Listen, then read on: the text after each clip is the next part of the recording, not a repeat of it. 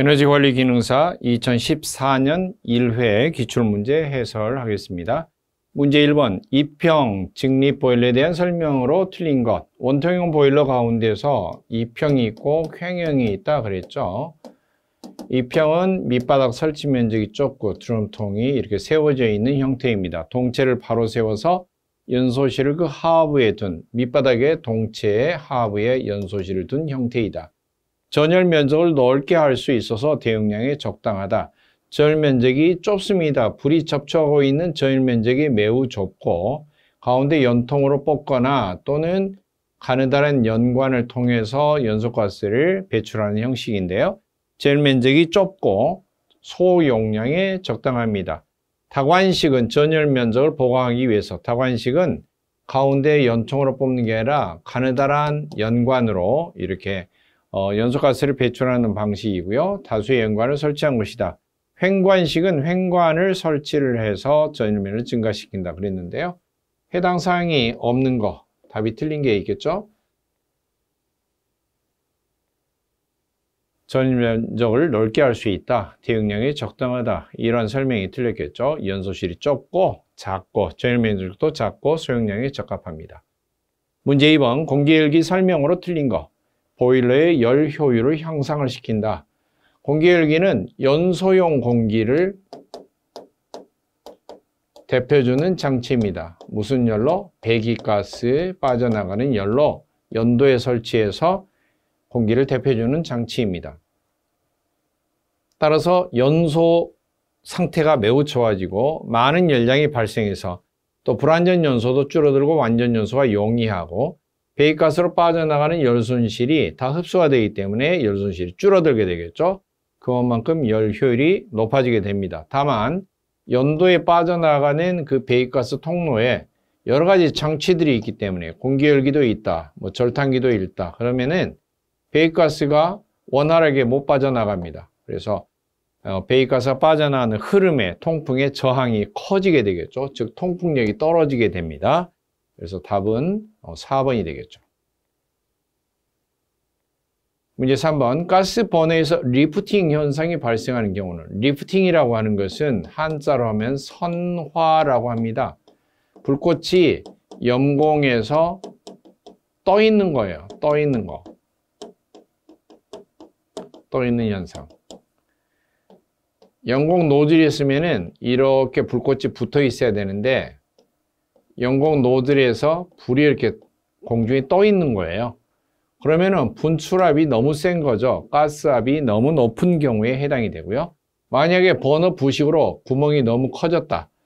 그러면은 좁은 구멍에서 분출이 되는 것이 넓은 구멍이 되면 속도가 줄어서 오히려 불이 속으로 타고 들어가서 역화가 될 우려가 있고요. 버너가 과열된 경우 뜨겁게 열받아 있는 경우 연료가 가스가 분사가 되기 전에 속에서부터 연소가 시작될 수가 있죠. 그러면은 역화가 되는 수가 있고 1차 공기의 흡인이 많은 경우 1차 공기가 가스가 분출되는 압력으로 가스 기구에 미리 분출 전에 흡인이 되어서 유인이 되어서 이렇게 들어가는 공기를 1차 공기라고 하고 분사된 다음에 바깥쪽에 있는 공기는 2차 공기, 연소용 공기라고 하는데 1차 공기 흡인이 많은 경우는 연소 상태가 좋아지겠죠. 공기량이 풍부해지니까. 그래서 가스압이 너무 높은 경우 이런 경우는 어, 리프팅 현상이 발생합니다. 분출 속도가 너무나 클 때, 가스 압력이 너무 높을 때, 또는 불순물로 염공이 구멍이 좀 좁아진 경우에 이렇게 lifting이 발생합니다. 문제 4번 LPG의 주성분이 아닌 거 LPG는 액화 석유가스죠. 석유가스. 주성분은 프로필렌, 부틸렌, 프로판, 부탄 이런 종류입니다. 에, 화학실험에 C3H8, C4H10 프로판, 부탄 그리고 C3 8에서 2개 줄어든 H6, C4, H, 10에서 2개 줄어든 8. 이게 이제 프로필렌, 이게 부틸렌 그렇게 하는데요. 어, 이런 거의 주성분이고 주로 많이 들어있는 게 프로판과 부탄이 많이 들어있고 메탄은 화학식이 CH4죠. 이건 천연가스의 주성분이죠. 천연가스를 액화시킨 것을 LNG라고 하죠. Liquefied Natural Gas. 그래서 이건 답은 LPG 주성분이 아닌 거 메탄가스가 되겠죠. LPG 주요 성질은 프로판과 부탄이 들어있는데요. 기체로 됐을 때 공기보다 무겁기 때문에 누설이 되면 바닥에 체류합니다. 연소할 때는 메탄보다도 훨씬 다량의 공기가 필요하고요. 메탄이 기화했을 때 그 메탄보다도 프로판 기준으로 오면은 공기가 2.5배 필요하고 발열량 발생은 더 많이 됩니다. 2.5배의 발열량이 나옵니다. 그리고 LPG가 액체로 되어 있다가 기체로 기화가 되면은 250배의 부피로 팽창하고요. LNG는 메탄이 주성분인데 공기보다 훨씬 가볍습니다. 누설되더라도 체류하지 않습니다. 연소할 때는 메탄 부피의 약 10배 정도 공기가 필요하고요. 프로판은 이것보다 2.5배니까 프로판은 1 normal 입방미터가 연소가 되면은 10배의 2.5배, 즉 25배의 공기가 필요하게 되겠죠. 그 다음에 기화가 되면은 액화천연가스 액체가 기체로 변할 때는 600배의 부피로 팽창을 합니다. 주성분은 메탄이 됩니다. 문제 5번 보일러 안전 저수면에 대한 설명으로 적당한 거 안전 저수위 수면계 하단입니다. 수면계 밑바닥. 그런데 이게 어떤 의미가 있느냐? 보일러를 가동하는 도중에 보안상 또 안전상 운전 중에 유지를 해줘야 되는 보일러의 드럼 내에 최저 수면 바로 이게 안전 저수면의 뜻이죠. 자 그러면은 보일러 운전 중에 유지해야 될 적정 수위, 적정, 적절한 물 높이는 뭐라고 그러냐? 이게 상용수위예요. 상용수위. 상용수위는 수면계 2분의 1입니다. 수면계 2분의 1 가운데죠. 그리고 저수위는 안전 저수위는 수면계 하단 부위입니다. 문제 6번 기체 연료의 발열량 단위로서 옳은 거. 자, 연료의 발열량은 고체가 있고 액체가 있어요. 고체 액체는 킬로그램당으로 발열량을 나타냅니다. 그래서 킬로칼로리 per 킬로그램. 그런데 기체는 부피로 나타냅니다. 킬로칼로리 per 입방미터인데 기체의 부피라고 하는 게 압력과 온도에 따라서 수시로 변하죠. 그래서 아예 일기압 영도씨라고 못을 박아서 표시합니다. 일기압 영도씨를 특별히 N자를 쓰고 읽을 때 normal 그렇게 읽죠. N-O-R-M-A-L 이것은 뜻이 기체의 부피가 1ATM 표준 대기압 1기압 그리고 온도는 0도씨 상태를 가리키는 말이죠. 그래서 1번 킬로칼로리 per 입방미터 4번 킬로칼로리 per normal 입방미터 그럼 답이 어떤 게 되겠어요? 이게 아니고 normal 입방미터가 붙어 있는 게 답이 되겠죠.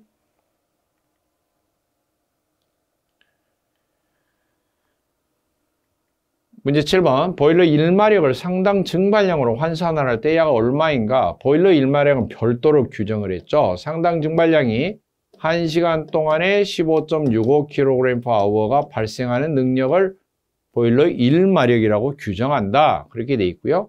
이걸 만약에 열량으로 환산할 때는 15.65kg/h의 상당 증발량에 곱하기 539를 곱하면 843535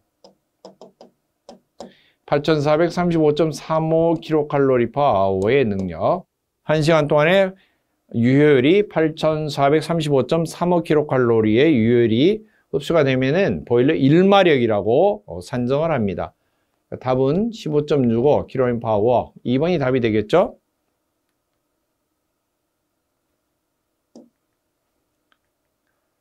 문제 8번 공기량이 지나치게 많을 때 나타나는 현상 중 틀린 거 공기가 과도하게 들어간 거예요. 그러면 일단 연소실이 냉각이 되겠죠. 온도가 떨어지고요. 당연히 배기가스량이 증가합니다. 배기가스량도 많이 빠져나가게 되고 배기가스는 어떻게 되냐? 온도가 떨어지죠. 차가운 공기가 계속 지속적으로 들어가기 때문에 온도가 떨어지게 되고 따라서 손실이 많아지니까 연료율도 떨어지죠. 그만큼 연료 소비량도 커지게 되겠죠. 그래서 해당 사항이 없는 게 4번이 되겠죠. 온도가 높아진 게 아니죠. 배기가스 온도가 저하게 되죠. 떨어지게 되죠. 또 공기량이 너무 많이 들어가게 되면은 분명히 불이 안 타는 건 아니에요. 다 타는데 차갑게 냉각된 채로 되는 거죠. 그래서 진동 연소의 원인이 됩니다. 보일러실이 떨어요.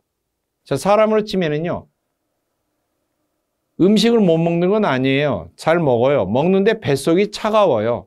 어, 뱃속이 차가워요. 몸은 부르르 떨어요. 어, 진동연소의 원인이 됩니다. 문제 9번. 절대 온도 360 켈빈, 켈빈을 섭씨 온도로 환산한다. 자, 켈빈 온도는 어떻게 구했어요? 섭씨 온도 플러스 273. 이렇게 구하죠. 온도계 눈금을 숫자만 지고 똑같이 사용하는 거예요. 0도시 상태에서 영하 273도까지 떨어지면 모든 물질의 분자 운동 에너지가 제로가 되는 지점. 이 밑으로는 온도는 존재하지 않는다. 더 이상. 그래서 마이너스 273도씨를 온도의 출발점으로 계산하고 숫자를 다 지운 다음에 눈금은 그대로 살려놓고 다시 표시하자. 이걸 0이라고 쓰고 밑에서부터 표기를 다시 해와서 0도씨 눈금은 273이라고 쓰고요. 이렇게 표시하자고 주장한 사람이 켈빈이죠. 켈빈, 켈빈. 자기 이름 이니셜 새겨서 K자 써서 켈빈으로 읽습니다. 따라서 숫자상으로 보면은 섭씨 온도보다 켈빈 온도 숫자 표시가 273만큼 더 있죠. 자, 그 말은 섭씨 온도로 환산하면 얼마냐? 360 켈빈이 섭씨 온도는 얼마일까? 플러스 273돼 있는데 이거 구하려면 이걸 이항 정리 플러스 213을 마이너스로 이항 정리하면 되겠죠. 360 켈빈 마이너스 213 하면은 계산기 누르면 섭씨 온도가 답이 나오겠죠. 87도씨.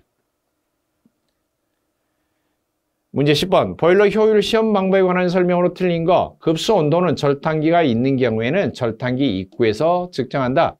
배기가스 온도를 측정할 때는 전열면의 최종 출구, 전열면 최종 출구에서 측정한다. 포화 증기의 압력은 보일러 출구에서 나오는 증기 압력으로 측정을 하되 부르동관식 압력계를 사용해서 측정한다. 4번 증기 온도의 경우는 과열기가 있을 경우는 과열기 입구가 아니고 과열기 출구에서 나오는 과일 증기의 온도를 측정한다. 이렇게 돼야 됩니다. 입구가 아니고 출구죠. 온도계 부착은 다음과 같습니다. 급수 온도계는 급수 입구 쪽, 급이 온도계는 버너 입구 쪽. 급수 예열기나 공기 예열기를 설치한 경우에는 앞, 뒤, 전후로.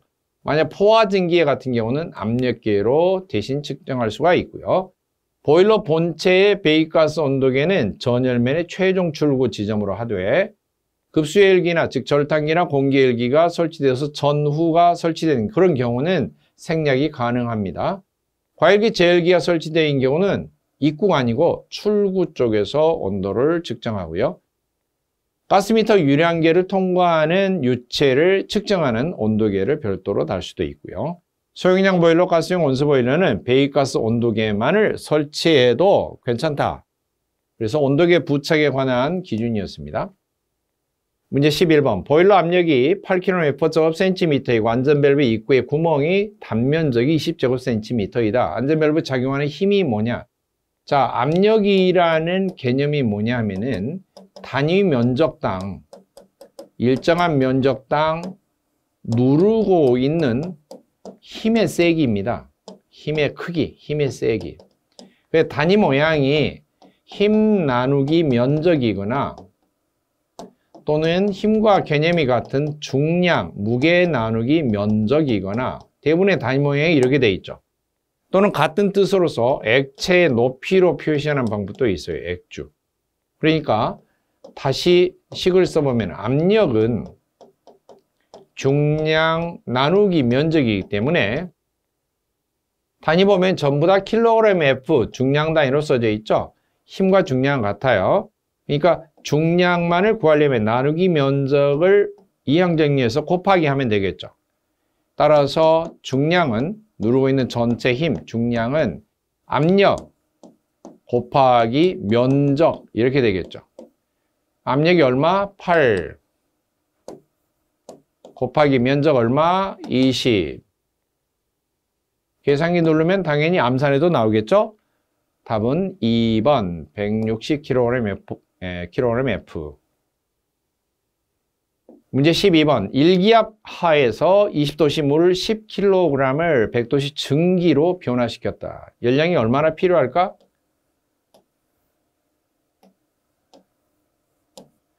20도짜리 물을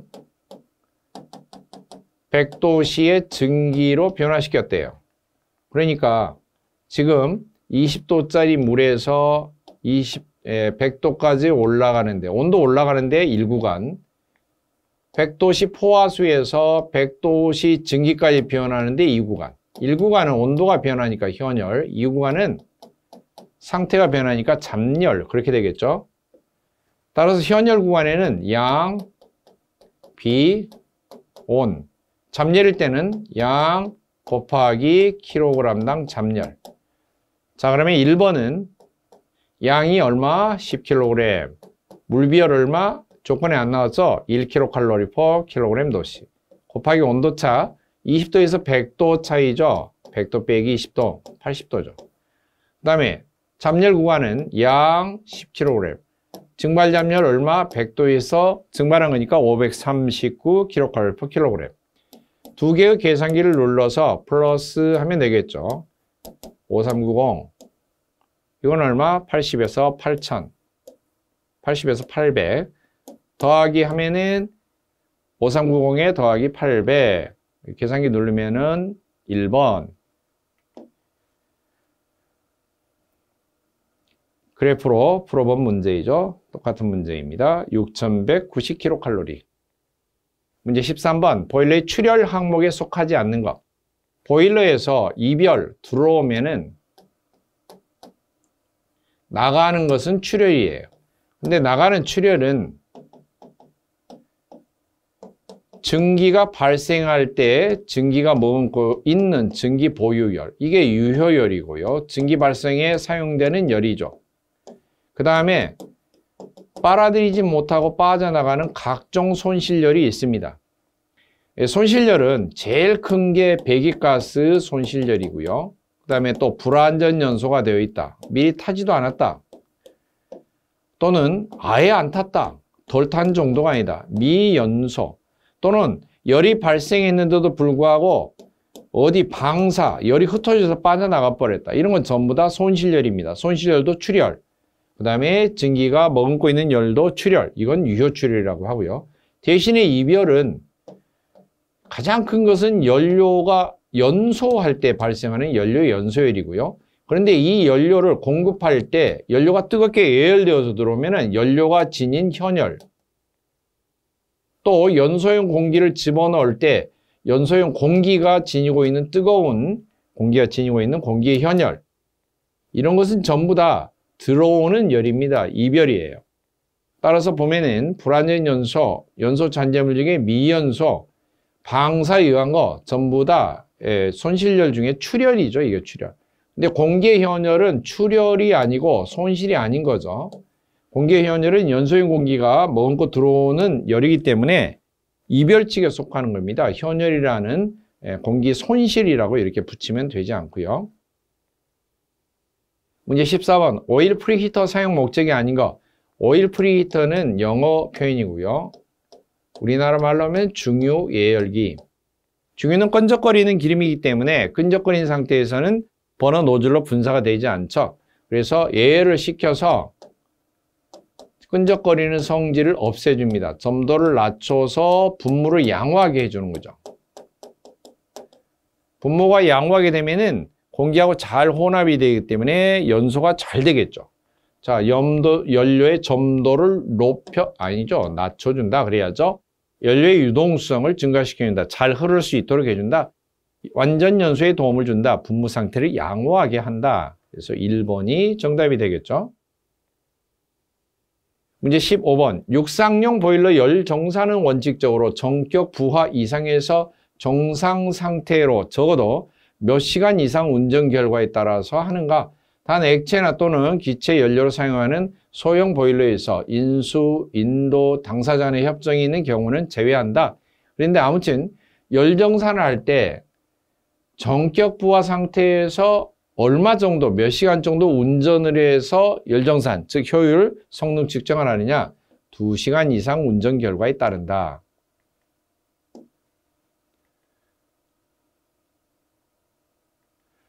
문제 16번 증기보일러에서 가마밸브 사용의 필요성에 대한 설명으로 가장 적합한 거 가마밸브는 보일러에서 발생한 고압의 증기를 사용처에서 사용하기에 적당한 압력으로 증기압을 낮춰주는 거예요.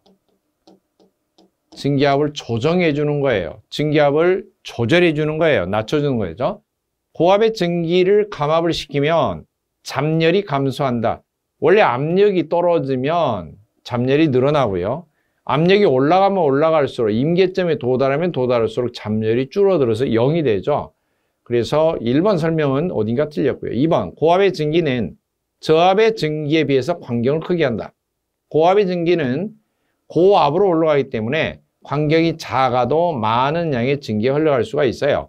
그러니까 저압 증기관을 사용하면 훨씬 광경은 사실 커져야 됩니다. 배관 설비가 증가한다 그러는데 광경을 크게 해야 된다? 고압의 증기는 저압 증기에 비해서 광경을 크게가 아니죠. 고압은.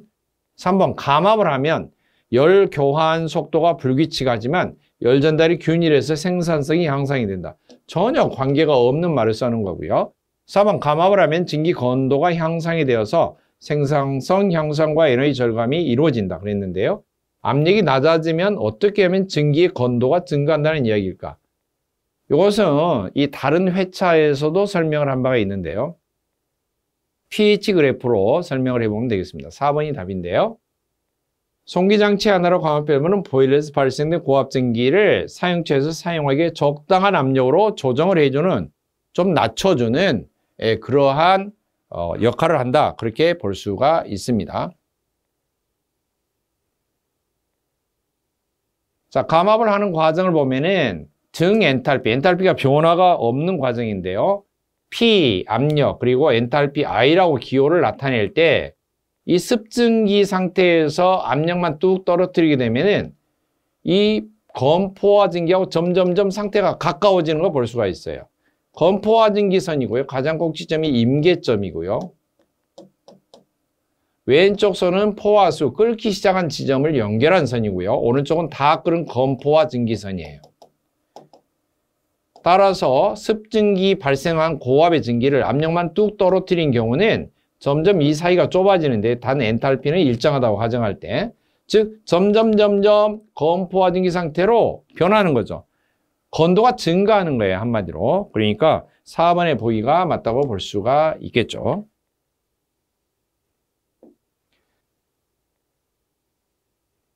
문제 17번. 제어계를 구성하는 요소 중 전송기의 종류에 해당이 되지 않는 것. 제어계, 자동 제어에서 신호를 전송한다. 전기식, 유압식, 공기압식 이렇게 있겠죠. 증기식은 존재하지 않는 것입니다. 문제 18번입니다. 과열기를 연소가스 흐름 상태에 의해서 분류할 때 해당되지 않는 것. 과열기, 폐열 회수 장치 중에 하나이죠. 배기가스가 빠져나가는 연도 내에 보일러에서 발생한 증기를 한 번 더 뜨겁게 온도를 높여주는 장치죠. 흐름 방향에 따라서 배기가스를 나란히 따라가는 형식이 있고 배기가스의 거꾸로 되는 게 있고 또는 나란히 따라가다가 거꾸로 자 그러면은 나란히 따라간다 이것은 병류라고 하고요 나란히 병자를 써서 거꾸로 서로 마주보고 서로 향하고 얼굴을 향하고 하는 거예요. 이것은 향유. 그 다음에 섞어진 것은 혼유. 이렇게 구분을 하고요. 복사형이라고 하는 경우는 과일기의 설치 위치에 따라서 구분한 거예요. 연소실에 불이 타고 있는 빛의 형태로 열을 전달받을 수 있는 가까운 곳에 과일기가 설치가 있으면은 빛의 형태로 열을 가장 먼저 빨리 받아들인다 그래서 복사형. 그 다음에 멀리 떨어져서 연소실의 화염에 빛이 안 보이고 연소가스가 접촉을 해서 열을 전달한다. 그러면 접촉형. 그 중간쯤에 있으면은 복사 접촉형. 그렇게 구분하고 이건 설치 위치에 따라서. 그 다음에 흐름 방향에 따라서는 병류, 향류, 혼류 그렇게 구분을 합니다. 해당 사항 없는 거 복사형이라고 볼 수가 있죠. 문제 19번 어, 보일러 연소 장치의 선정 기준에 대한 설명으로 틀린 거 있는데요. 연소 장치 버너죠, 버너 또는 예, 고체 연료 같으면 화격자, 액체 연료나 기체 연료는 버너. 사용 연료의 종류와 형태를 고려해 본다. 연소 효율이 높은 장치를 선택한다. 내구성이 좋고 가격 등을 고려해서 가격이 되도록이면 경제적인 걸 선택한다. 그런데 과잉 공기는 어쩔 수 없이 사용하기는 하지만 과잉 공기가 지나치게 많이 들어가면 연소실이 냉각이 되고 배기가스 양이 증가해서 열 손실이 증가하죠. 그래서 과잉 공기를 되도록이면 적게 사용하는 선에서 완전 연소가 용이한 그런 장치를 선택해야 됩니다. 따라서 어, 설명으로 틀린 거 3번이 되겠죠. 많이가 아니고 되도록이면 완전 연소가 될 수만 있다면 과잉 공기를 적게 사용하는 것이 좋습니다. 문제 20번 보일러 급수 처리의 목적으로 볼 수 없는 것 급수 처리는 한마디로 불순물을 제거하는 거죠 불순물을 왜 제거할까요? 불순물이 들어있으면 여러 가지 안 좋은 장애를 일으키기 때문에 그렇죠 물로 인해서 일어날 수 있는 장애 물속에 있는 불순물이 부식을 일으킨다? 네, 그렇죠 용존 산소 물속에 산소 성분이 녹아있을 때 스케일 칼슘이나 마그네슘 이온이 들어있을 때 스케일이 원인이 되는데 이걸 제거를 하면 스케일 생성 방지가 된다. 보일러수 농축, 여러 가지 불순물이 많이 녹아 있으면 불을 땔 때 증기만 빠져나고 보일러 물이 빨리빨리 농축이 되겠죠. 그러면은 여러 가지 부식도 일으키고 스케일 원인이 되기도 하고 그 다음에 보일러수 순환이 잘 되지도 않고 여러 가지 장애를 일으킵니다. 볼 수 없는 거 역화 방지 불이 거꾸로 연소실로 버너 입구 쪽으로 치솟아 나오는 것을 역화라고 하는데 물하고 불하고 전혀 관련이 없죠. 무슨 만화 영화 엘리먼트도 아니고요. 답은 4번이 되겠죠. 21번 열 전달의 기본 형식에 해당이 되지 않는 것 열이 전달되는 형태는 고체에서 전달되면 전도 유체에서 전달되면은 대류, 빛의 형태로 전달되면 복사 그렇게 부릅니다. 발산이라는 것은 열이 전달되는 형태가 아니죠. 문제 22번 수면계 기능시험의 시기에 대한 설명으로 틀린 것 수면계 기능시험은 수면계가 정상인가 아닌가 물이 통하는 물 연결관과 증기가 통하는 증기 연결관이 서로 이상이 없이 잘 통하고 있는지를 주로 점검을 하는 걸 말합니다. 두 개 수명계가 서로 눈금이 수위가 서로 차이가 있을 때, 또 보일러를 가동해서 압력이 상승하기 시작하는 지점, 또는 프라이밍이나 포밍이 발생해서 거품이 잔뜩 끼었을 때, 이럴 때는 기능시험을 하고, 또는 교체 시, 유리, 수면계의 유리를 교체했을 때, 이럴 때는 다시 해봐야 되겠죠. 자, 이런 경우는 기능 시험을 합니다. 근데 가마 울림 현상이라고 하는 경우는 연소실에서 미연소된 가스가 연도로 빠져나가다가 체류를 해서 그 체류된 미연소 가스가 열을 받아서 2차 연소를 일으키는 이런 경우에 전체적으로 떨림 현상이 일어나는데요. 그런 경우를 보통 가마 울림 이렇게 이야기하는데 전혀 관계가 없는 이야기입니다. 물하고는 상관이 없죠. 수면기하고는. 가마 올리면 연소가 불완전 연소가 됐을 때 불완전 연소가 된 그 미연소 가스가 체류할 때 일어나는 현상입니다. 23번 보일러 동체 내부에 안전 저수위보다도 약간 높게 높은 쪽에 설치를 한다. 그리고 유지분이나 부유물 등을 제거하는 장치로 연속적으로 분출을 해도 괜찮은 장치. 이게 이름이 뭘까요? 수저, 수중 아니고요. 수면 분출 장치라고 합니다. 수면 분출 명칭은. 24번 액체 연료의 요압 분무식 버너 종류에 해당되지 않는 거. 유압 분무식은 기름을 직접 분사하는 형태가 있고요. 그리고 버너에서 분사를 할 때 혹시 조절 밸브 약하게 하면은 다시 되돌아가는 환류가 되는 반환 유형이 있고요. 또 소량의 기름을 고압으로 밀어내기 위해서 플런저를 사용을 하는 플런저 형태가 있습니다. 간접 분 사용은 존재하지가 않고요. 답은 4번이 되겠습니다. 유압분무식은 직접 연료 위에 압력을 가해서 분무하는 방식으로 환유식과 비환유식이 있다. 환유식은 적절한 압력으로 조정한 것 이상으로 압력이 가해지면 다시 되돌아가는 그런 방식이 환유식이고요. 비환유식은 되돌아감이 없는 그런 방식입니다. 특히 소량을 고압으로 분사할 경우는 플런저형을 사용하기도 합니다. 에, 보통 왕복식 구조 실린더에서 피스톤의 지름이 크고 왔다 갔다 왕복하는 행정이 짧은 경우는 피스톤이라고 부르고요. 실린더가 좁고 길면서 지름에 비해서 왕복되는 거리가 더 클 때, 더 많이 움직일 때는 어, 플런저라고 부릅니다. 25번 어떤 보일러에 5시간 동안의 증발량이 5,000kg입니다. 5시간입니다. 1시간 동안으로 한다면 5,000 나누기 5시간에서 1,000kg씩이 증기가 나오겠죠. 그때 급수 엔탈피가 25, 증기 엔탈피가 675이다. 상당 증발량을 어떻게 구하느냐. 상당 증발량의 증발량열 539에서 구한 유효열이나 실제로 나오는 실제 증발량 곱하기 증기 엔탈피 빼기 급수 엔탈피 해서 구한 유효율이나 같다 그랬죠.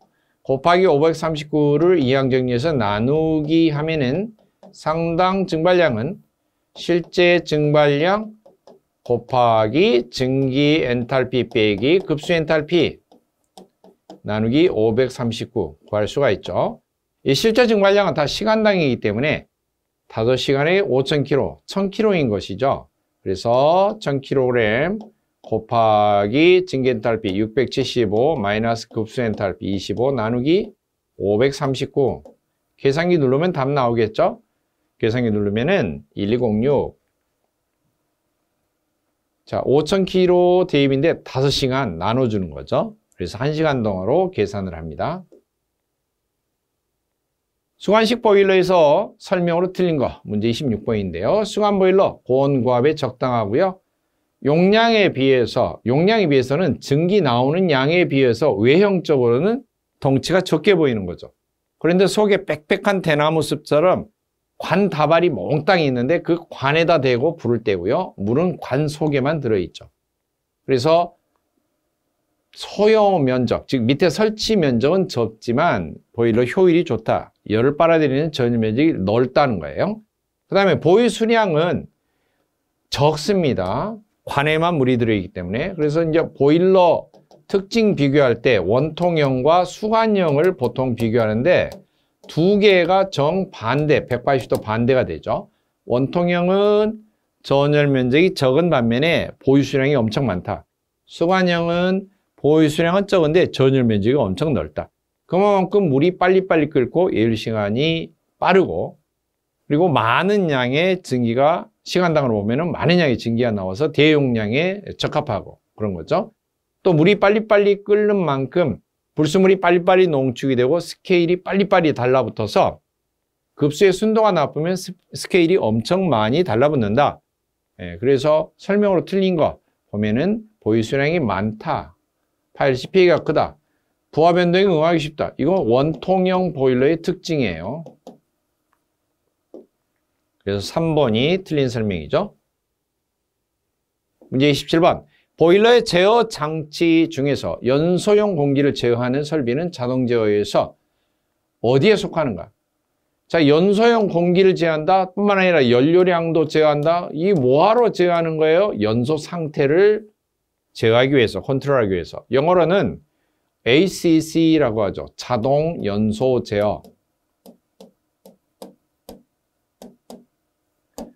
보기 1번에 나오는 FWC는 Feed Water Control, 물을 공급하는 걸 제어하는 거, 급수 제어. ABC는 Automatic Boiler Control, 그래서 보일러의 모든 전반적인 자동 제어를 다 합해서 ABC라고 부릅니다. 이 보일러 자동 제어가 바로 급수를 제어하는 FWC, 연소 상태를 제어하는 Automatic Combustion Control, ACC.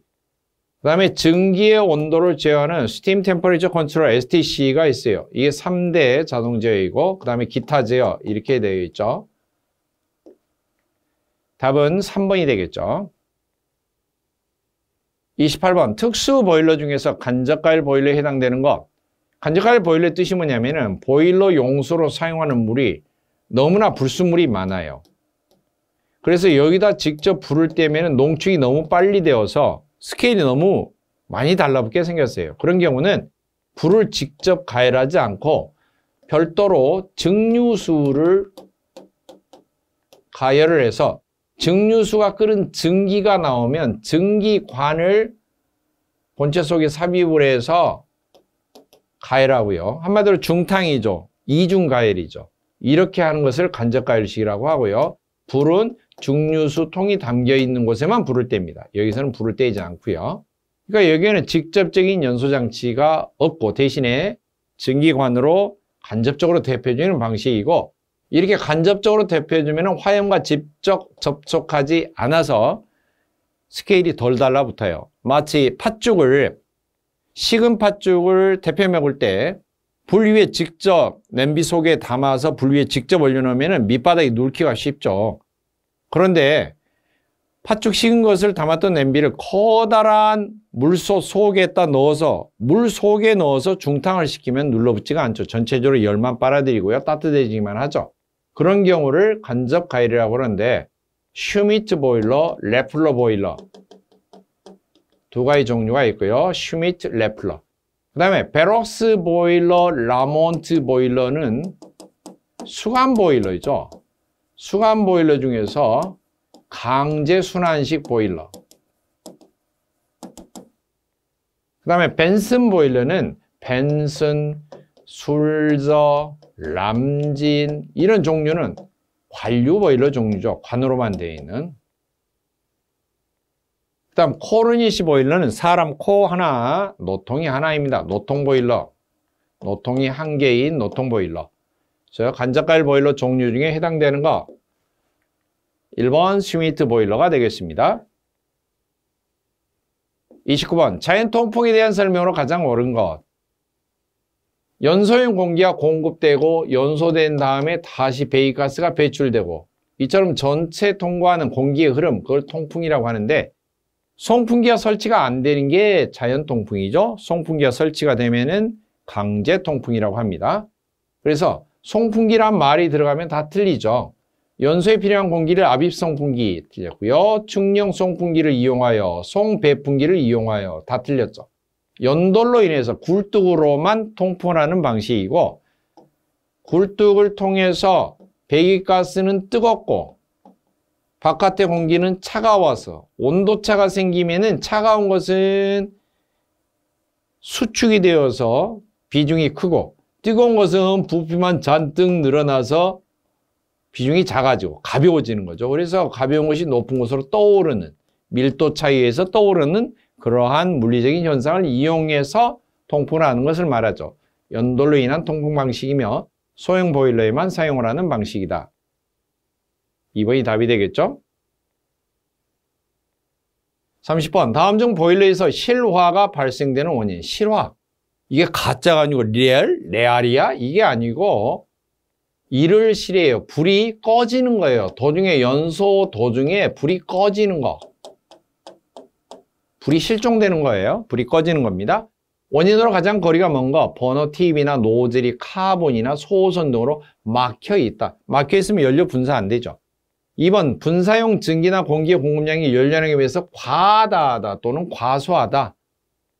이런 경우는 버너 노즐에서 분사하는 공기가 너무 과다하다. 연료량에 비해서. 그러면 이게 너무 분출 속도가 빠르기 때문에 염공에서 일단 떠서 리프팅이 된 다음에 불이 하고 꺼질 수가 있습니다.